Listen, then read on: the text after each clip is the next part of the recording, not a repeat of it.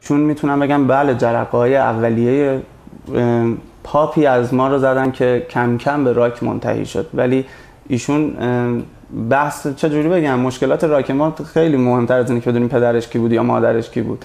اما من راک رو یه موسیقی انتظایی می‌دونم.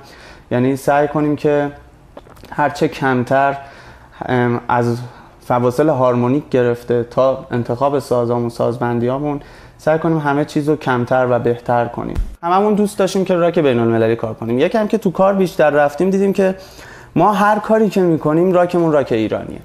یعنی با اینکه با حتی وقتی که به زبان انگلیسی هم می‌خونیم این راک راک ایرانیه. یعنی نگاه که می‌کنیم می‌بینیم که همون قضیه جبر جغرافیایی معروف که میگن.